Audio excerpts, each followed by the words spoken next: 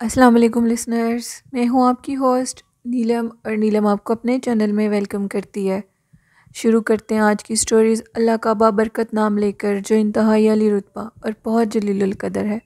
मैं अपने सभी सुनने वालों के लिए ये दुआ करती हूँ कि मेरे सभी सुनने वालों पर अल्लाह पाक की रहमत और करम भरा साया हमेशा कायम और दायम रहे। आमीन। इसी दुआ के साथ आज की स्टोरीज़ का आगाज़ करते हैं। तो लिसनर, पहले मैं आप सब लोगों को ये कहना चाहूँगी कि आप मेरे अब्बू के लिए दुआ करें कि अल्लाह पाक उनको लंबी ज़िंदगी और सेहत दे, उनकी तबीयत कुछ ख़राब है, जिसकी वजह से कल भी मैं स्टोरी अपलोड नहीं कर सकी। तो बढ़ते हैं आज की खौफनाक कहानी की तरफ़। आज की पहली खौफनाक कहानी मेरे साथ शेयर किया है गुलजार ने। गुलजार कहते हैं कि आज मैं आपके साथ एक स्टोरी शेयर करना चाहता हूँ। गुलजार कहते हैं कि मैं लाहौर अनारकली में शॉप्स पे, जो शॉप्स हैं, उधर मैं जॉब करता हूँ। और एक से दो दुकानें मैंने छोड़कर वहाँ पर मैं शॉप्स जो हैं, उधर जॉब जो करता हूँ, उसके एक शॉप थी जिसका मैंने काम करना वहाँ पर छोड़ दिया और दूसरी शॉप पर चला गया। वो कहते हैं कि मशहूर है लाहौर का अनारकली बाज़ार, जो कि जन्नात सदा है वहाँ पर। अनारकली बाज़ार के एंड में वो कहते हैं कि बहुत बड़ी गुलजार कहते हैं, मैं जिस शॉप पर अब काम करता हूँ, उधर मुझे सब भाई के नाम से बुलाते हैं। तो मेरे मालिक को मेरे पे बहुत यकीन है और वो मुझे अपनी सारी शॉप की कीज़ दे देता है। और लास्ट में मैं ही शॉप को बंद करके जाता हूँ और मैं ही शॉप को आकर सुबह खोलता हूँ। वो कहते हैं कि एक दिन रात काफ़ी मैं लेट हो गया और सब लोग चले गए थे। क्योंकि मैंने ही सारी शॉप को बंद करना होता है, काफ़ी बड़ा स्टोर है। और उस स्टोर को बंद करके हम लोगों का जो स्टोर है, वो उसके नीचे बेसमेंट भी है। कहते हैं कि मैं जब शॉप पर बिल्कुल अकेला था, सब लोग चले गए थे। सर्दियों का मौसम था। अचानक से मुझे महसूस हुआ जो कि शॉप का बेसमेंट है, नीचे कुछ है ऐसा वैसा जो कि मुझे महसूस हो रहा था, ठीक नहीं था। उन्होंने कहा कि मैंने नीचे से जाकर देखा तो मैं क्या देखता हूँ? एक औरत नीचे बेसमेंट में खड़ी हुई है और जहाँ पर लेडीज़ की कुछ चीज़ें होती हैं, वहाँ पर वो औरत खड़ी हुई है और उसकी मेरी तरफ़ कमर है और वो फुल हिजाब में है। उसने सारी बॉडी पर उसके हिजाब है और पीछे से ये लग रहा था कि जैसे उसके फेस के ऊपर भी हिजाब है।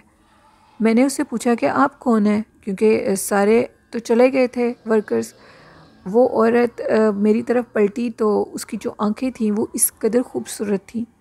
मैं उसकी आँखें देखकर हैरान रह गया। सबसे पहले मेरी नज़र उसकी सिर्फ़ आँखों पर ही पड़ी।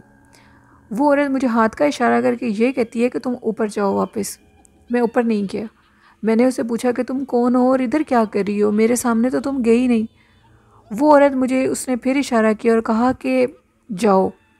मैं जब दूसरी दफ़ा भी उसके इशारे पर नहीं गया तो तीसरी दफ़ा उस औरत ने बहुत खौफनाक आवाज़ में मुझे कहा, जाओ, नहीं जाओगे तो नुकसान दे दूँगी। मैंने जब उसकी खौफनाक आवाज़ सुनी जो कि एक औरत से मुशाबा नहीं रखती थी, और जो मेरा वो, हम लोगों की जो वो शॉप है बेसमेंट वाली, वो अनारकली बाज़ार के एंड में है बिल्कुल, और थोड़ा सा आगे कब्रिस्तान है। उसकी वो खौफनाक आवाज़ सुनकर मैं वहाँ से भागा और मुझे कुछ होश नहीं थी। पता नहीं किस तरीके से मैंने शॉप को बंद किया, मैंने लाइट्स ऑफ़ की हैं या नहीं की, मुझे किसी चीज़ का कुछ होश नहीं है। जैसे ही मैंने शॉप बंद की तो उस टाइम ऑलमोस्ट सब शॉप्स बंद हो चुकी थी।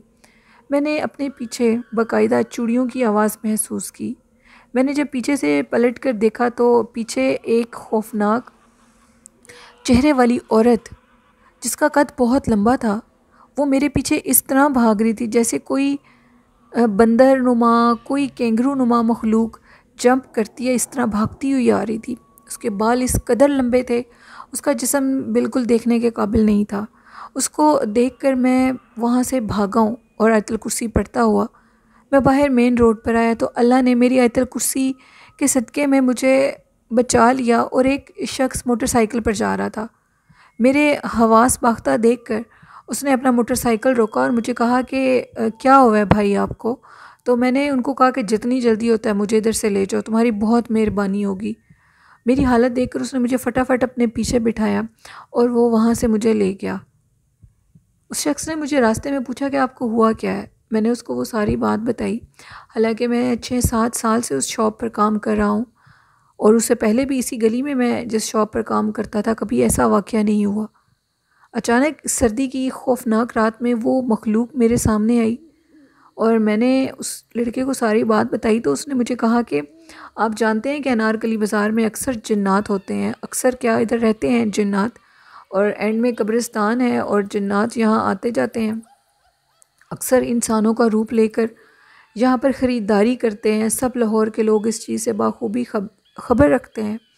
और इतनी रात तक इधर कोई इसीलिए शॉप नहीं खोलता कि वो मखलूक नज़र आने लग जाती है। तो गुलजार कहते हैं कि मेरे से भी यही गलती हुई थी। मैंने पहली दफ़ा ये गलती की थी। लेट नाइट तक मैं काम करता रहा। कुछ बिल थे, उनको सॉल्व करना था, उनको चेक करना था। वो मैं करता रहा। माल वगैरह कुछ हम लोग नया लेकर आए थे, जो कि मैं सेट कर रहा था अकेला। क्योंकि अक्सर मैं जल्दी चला जाता था, काम रह जाता था। जिसकी वजह से मेरे साथ ये वाक़ पेश आया। गुलजार ये कहते हैं कि अनारकली बाज़ार बहुत ज़्यादा भारी है।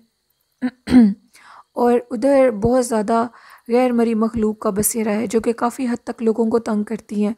कुछ लोगों का ये कहना है कि उस अनारकली बाज़ार के एंड में जो कब्रिस्तान है, वहाँ से वो मखलूक आती है, क्योंकि वो कब्रिस्तान का बिल्कुल वेरी लास्ट वो हिस्सा बनता है। और उसी से में से बहुत सी मखलूक़ कहते हैं कि आती हैं, जो कि इंसानों को तंग करती हैं। ये स्टोरी थी गुलजार की जो उन्होंने लाहौर से शेयर की। बढ़ते हैं आज की दूसरी खौफनाक कहानी की तरफ़। आज की दूसरी खौफनाक कहानी मेरे साथ शेयर की है अलीज़ा ने। अलीज़ा कहती हैं, आज मैं आपके साथ फिर एक स्टोरी शेयर करना चाहती हूँ।